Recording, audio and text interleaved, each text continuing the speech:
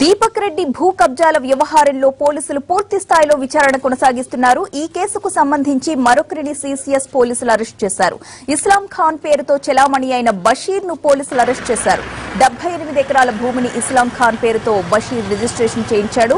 మరోవైపు లేని పత్రాలు సృష్టించి కుషాయిగూడ ఆంధ్ర బ్యాంక్ నుంచి ఆరు కోట్ల రూపాయల రుణం తీసుకున్నాడు దీపక్ రెడ్డి. అయితే తాను మోసపోయామని ఆలస్యంగా గుర్తించారు బ్యాంక్ సిబ్బంది. ఈ వ్యవహారంలో ఆంధ్ర బ్యాంక్ సిబ్బందిపై కేసు నమోదయ్యే అవకాశం ఉంది.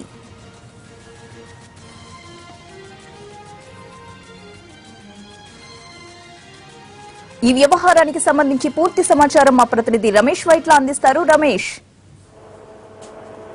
ప్రతిభ దీపక్ ఎమ్మెల్సీ దీపక్ రెడ్డి వ్యవహారంలో పోలీసులు పూర్తి స్థాయిలో విచారణ జరుపుతున్నారని చెప్పవచ్చు. ఈ దీపక్ రెడ్డి చేసిన అక్రమాలకు సంబంధించి పూర్తిగా లోతుగా విచారణ చేస్తున్నారు పోలీసులు. మరోవైపు చూసినట్లయితే దీపక్ రెడ్డి అండ్ కంపెనీ పెద్ద మొత్తంలో రుణాలు తీసుకున్నట్లుగా పోలీసుల విచారణ బయటపడింది. దీంట్లో ప్రధానంగా చూసినట్లయితే కుషాయిగూడ ఆంధ్ర బ్యాంకు చెందిన ఒక బ్యాంక్ మేనేజర్కు పూ- పూర్తిగా బురిటి కొట్టించి దాదాపు ఆరు కోట్ల రూపాయల రుణాన్ని దీపక్ రెడ్డి గ్యాంగ్ తీసుకున్నట్లుగా అధికారులు గుర్తించారు. అయితే పూర్తిగా నకిలీ పత్రాలు అసలు జాగా ఎక్కడ ప్లేస్ లేకపోయినప్పటికీ ఒక పదిహేను ఎకరాల ల్యాండ్ తమ పేరున ఉందని చెప్పి ఒక నకిలీ పత్రాలు సృష్టించి ఆ పత్రాలను చూపెట్టి ఆంధ్ర బ్యాంక్ కుషాగూడ బ్యాంక్ నుంచి ఆరు కోట్ల రూపాయల రుణం తీసుకున్నారు. అయితే ఇప్పుడు ఈ కేసు వెలుగులోకి వచ్చిన తర్వాత ఆంధ్ర బ్యాంక్ అధికారులు సీసీఎస్ కోఆర్డినేటర్స్ లని కాంటాక్ట్ చేయడం జరిగింది. తాము పూర్తిగా మోసపోయాము అప్పుడు ఉన్న అధికారులు చూడకుండా రుణాలు ఇచ్చారు. కొంతమంది అధికారులు దీంట్లో పాత్ర ఉందని చెప్పి పేర్కోవడం జరిగింది. అయితే ఈ మేరకు ఆంధ్ర బ్యాంక్ అధికారులపై కూడా కేసు పెట్టే అవకాశం కనబడుతుంది. మరోవైపు ఇస్లాం ఖాన్ పేరుతోటి అంటే దీపక్ రెడ్డి గ్యాంగ్లో కీలకంగా ఉన్న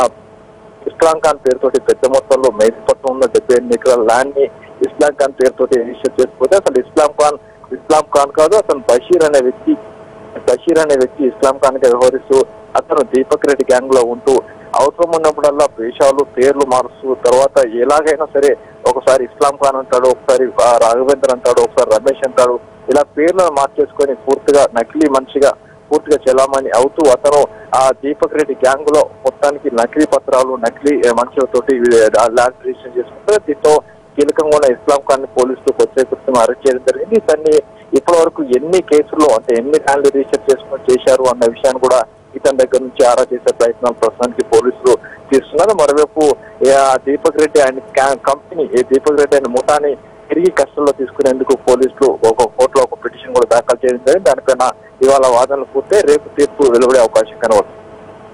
రైట్ థ్యాంక్ యూ రమేష్